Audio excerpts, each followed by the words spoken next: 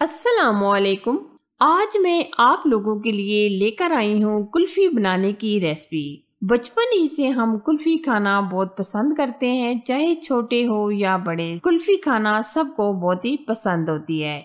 या आज हम जो कुल्फी बना रहे हैं, इसमें ना हम कोई कंडेंस मिल्क ना कोई मिल्क पाउडर सिर्फ़ हम दो चीज़ों का इस्तेमाल करते हुए बनाएँगे बाज़ार जैसी क्रीमी कुल्फी। तो आप रेसिपी को देखें और बनाएँ इसी स्टाइल से क्रीमी कुल्फी। रेसिपी पसंद आए तो लाइक, शेयर ज़रूर कीजिएगा। बिल्कुल बाज़ार जैसी एकदम क्रीमी कुल्फी बनाने के लिए सबसे पहले हम लेंगे जूसर जग। इसमें हम ब्रेड को ग्राइंड करेंगे। ये हम लेंगे चार से पाँच अदद ब्रेड की स्लाइस। ये हमने ब्रेड के बड़े वाले स्लाइस लिए हैं। अब हम क्या करेंगे? ब्रेड को हल्का हल्का इस तरीके से तोड़कर मिक्सी जार में डालेंगे। और हम यहाँ आपको एक छोटी सी टिप देना चाहेंगे कि हम ब्रेड को कॉर्नर के साथ ही इस्तेमाल कर रहे हैं। ये मैं आपको आगे जाकर बताऊँगी कि हम इसके कॉर्नर क्यों इस्तेमाल कर रहे हैं, इसके क्या फ़ायदे हैं। तो आप रेसिपी को देखते रहें। या आप देख सकते हैं, हमने सारी ब्रेड को तोड़कर जूसर जग में डाल दी है। अच्छा जी, इस तरीके से भी हम इसको ग्राइंड कर सकते हैं, लेकिन हम ग्राइंड करने के लिए एक गिलास के करीब दूध शामिल कर देंगे। दूध डालने से ये एकदम स्मूथ सा बैटर रेडी हो जाएगा। वैसे भी महँगाई की इस दौर में हम बाज़ार से कुल्फ़ी वगैरह लेकर आते हैं तो हमें काफ़ी महँगी पड़ती है। लेकिन हम घर की बेसिक चीज़ों का इस्तेमाल करते हुए बाज़ार से भी अच्छी आइसक्रीम घर में बासानी बना सकते हैं। अभी आप देख सकते हैं कितना ज़बरदस्त ये स्मूथ सा बैटर हमारा रेडी हो चुका है। हमने बहुत ही अच्छे तरीके से ब्रेड और दूध को ग्राइंड कर लिया। ये आप देख सकते हैं, माशाल्लाह, कितना ये स्मूथ बैटर रेडी हुआ है।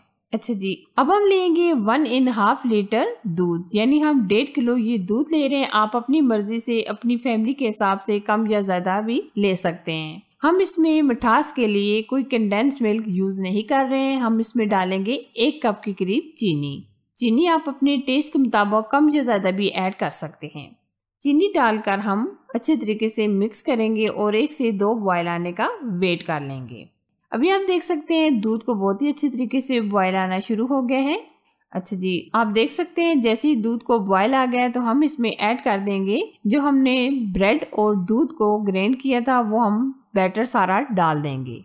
और बैटर डालते ही हम अच्छे तरीके से मिक्स करेंगे। और यहाँ मैं आपको एक छोटी सी टिप देना चाहूँगी कि आप यहाँ बिल्कुल चम्मच ना रोकिएगा, बल्कि आप इस तरीके से बराबर मिक्स करके पकाएँगे। अगर हम इस तरीके से छोड़ देंगे तो जो ब्रेड है, वो कढ़ाई की तय में लग सकती है। तो इसलिए हम बराबर मिक्स करके पकाएँगे। क्योंकि हमने जो ब्रेड के कॉर्नर यूज़ किए हैं, इसकी वजह से माशाल्लाह कितना ज़बरदस्त कलर आ गया है। एक तो हमारी ब्रेड भी वेस्ट नहीं हुई और कलर भी एकदम ज़बरदस्त सा आ गया है। अब हम मुकम्मल इस तरीके से मिक्स करके पकाएँगे जब तक ये आइसक्रीम का बैटर अच्छे तरीके से गाढ़ा नहीं हो जाता। अगर आप इस तरीके से बच्चों को आइसक्रीम घर में बना कर देते हैं तो बच्चे गैस भी नहीं कर पाएँगे कि ये आपने घर पर आइसक्रीम बनाई है या आप बाइट से लेकर आएँगे। क्योंकि ये इतनी ज़बरदस्त और एकदम क्रीमी बिल्कुल जो हम कमर्शियल आइसक्रीम खाते हैं या कुल्फ़ी खाते हैं, इसका टेस्ट भी बिल्कुल वैसा ही आएगा। एक बार आप ज़रूर से ट्राई कीजिएगा। आइसक्रीम या कुल्फ़ी को बाज़ार जैसा टेस्ट देने के लिए हम इसमें कटे हुए बादाम और पिस्ते ऐड कर देंगे। और अगर आप यहाँ नहीं भी डालना चाहते तो आप स्किप भी कर सकते हैं। लेकिन बादाम और पिस्ते डालने से ये बिल्कुल कमर्शियल टेस्ट देगी। आप इसका टेक्सचर देख सकते हैं। माशाल्लाह कितना ज़बरदस्त, एकदम स्मूथ हमारी ये आइसक्रीम तैयार हो रही है। अभी आप देख सकते हैं, माशाल्लाह कितना ज़बरदस्त ये आइसक्रीम का बैटर काफ़ी हद तक थिक हो चुका है। और जब हम इसको रख देंगे ठंडा होने के लिए, ये मज़ीद गाढ़ा हो जाएगा। तो इसलिए हम फ्लेम ऑफ़ कर देंगे और आइसक्रीम के बैटर को ठंडा होने के लिए रख देंगे।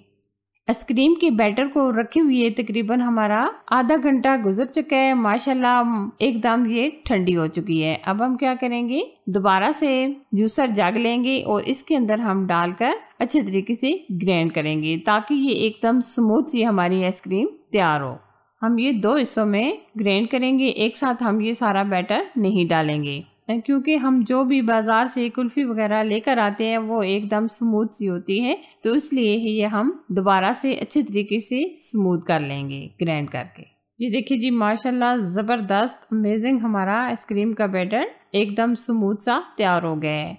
अब हम जिस बर्तन में आइसक्रीम को जमाएँगे, उसमें हम डाल देंगे, हम लेंगे एट टाइट डिब्बे ये हमने दो अदद एयर टाइट डिब्बे ले लिए हैं, जिसमें हम आइसक्रीम का बैटर भर लेंगे। अभी आप देख सकते हैं, दोनों एयर टाइट डिब्बों में हमने आइसक्रीम के बैटर को भर लिया है और एक अदद हम गिलास के अंदर भी बैटर को डाल देंगे। या आपने देखा, हमने डेढ़ लीटर दूध का इस्तेमाल करती हुई कितनी ज़्यादा आइसक्रीम तैयार कर ली है। और अब हम इसके ऊपर डाल देंगे कटे हुए बादाम और कटे हुए पिस्ते। ये भी मुकम्मल ऑप्शन है। अगर आप नहीं भी डालना चाहते तो आप इस तरीके से भी आइसक्रीम को एंजॉय कर सकते हैं। बिल्कुल टेस्ट ज़बरदस्त आएगा। यह हमने बादाम और पिस्ते से गार्निश कर ली है। अब हम अच्छे तरीके से कवर कर देंगे। आप अच्छे तरीके से कवर कीजिएगा। कोई भी एयर वगैरह अंदर नहीं जानी चाहिए। अब हम क्या करेंगे? पाँच से छः घंटे के लिए या ओवरनाइट के लिए आइसक्रीम को रख देंगे ताकि अच्छे तरीके से जम जाए। ये देखिए जी, पाँच से छः घंटे रखने के बाद माशाल्लाह हमारी आइसक्रीम अच्छे तरीके से जम चुकी है, यानी अच्छी तरीके से सेट हो गई है। अब हम सर्व करेंगे। ये देखिए जी, माशाल्लाह कम बजट में घर की बेसिक चीज़ों का इस्तेमाल करते हुए हमारी मज़ेदार सी आइसक्रीम, यानी कुल्फ़ी बनकर तैयार हो चुकी है।